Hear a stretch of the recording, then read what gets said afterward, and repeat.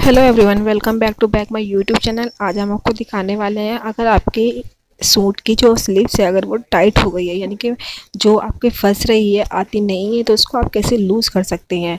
और बिना हम कपड़ा लगाए इसे लूज़ कर सकते हैं, बिना किसी कपड़े की मदद से तो उसको हम कैसे करें और नया लुक या नया डिज़ाइन कैसे दें? तो यहाँ पर हम सबसे पहले इसकी सिलाई को निकाल लेंगे। जहाँ तक हमें टाइट लग रही है, वहाँ तक हम इसकी सिलाई निकाल लेंगे। तो इस पर इंटरलॉक हो रखी है थोड़ी सी मुश्किल है निकालने में। लेकिन धीरे धीरे करके हम इसकी जो सिलाई है, उसको निकाल लेंगे। इंटरलॉक जो है, उसको भी हम निकाल देंगे, यानी कि खोल लेंगे। तो जहाँ तक हमें खुली रखनी है टाइट है हमारी स्लीव्स वहाँ तक हम इसको खोल लेंगे। आप धीरे धीरे सुई की मदद से या फिर आपके पास सिलाई निकालने का जो नेल्स आता है तो वो भी ले सकते हैं। उसकी मदद से भी आप इसको निकाल सकते हैं।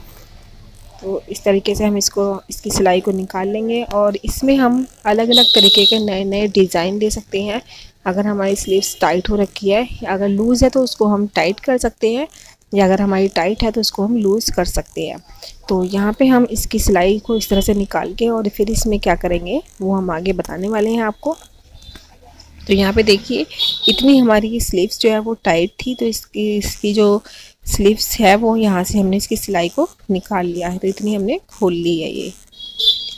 तो दोनों स्लीव्स हमने खोल ली है, इसी बराबर इक्वल कर लिया है।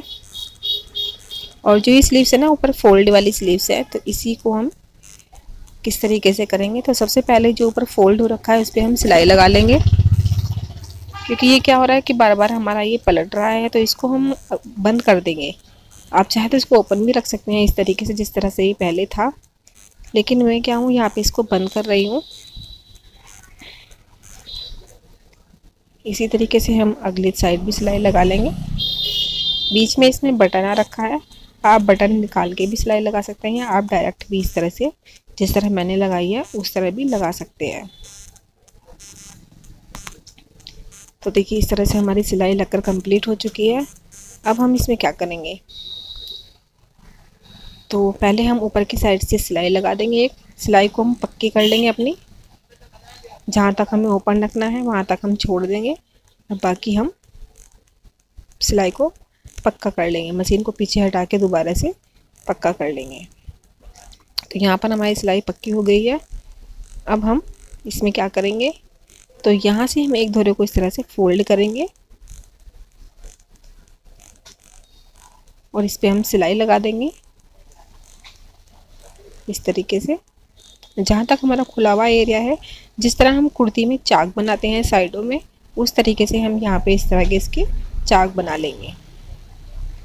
इस तरह से हम घुमाकर सिलाई को दूसरी साइड ले आएँगे। और इस तरह से यहाँ पे भी इस हम सिलाई लगा देंगे। बिल्कुल सेम उसी तरीके से करना है, जिस तरह से हम सूट के चाक बनाते हैं। जो हमारे तन्ने होते हैं सूट के, हम ऊपर से इस तरह सिलाई लगाते हैं तो इसी तरीके से हमें इसमें भी सिलाई लगा देनी है। तो यहाँ पर देखिए हमारी जो स्लीव्स है, वो लूज़ हो गई है। इसको हम ऐसे ही रखेंगे यहाँ पर। अब हम इसको डाल के दिखाते हैं अपने हाथ में। तो यहाँ पे से ये इस तरह से ओपन रहेगी। आप भी अपने स्लीव्स को कोई नया लुक देना चाहते हैं तो इस तरीके से ओपन कर सकते हैं। तो इसी के साथ हम लेते हैं आपसे विदा। फिर मिलेंगे नेक्स्ट वीडियो में। तब तक के लिए बाय टेक केयर